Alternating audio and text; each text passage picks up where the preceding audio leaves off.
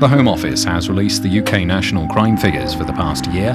The cases of child abductions have increased by more than 11% in the past 12 months. The Metropolitan Police Commissioner, Sir Nigel Andrew, has reiterated calls for parents to monitor the whereabouts of their children, particularly late at night.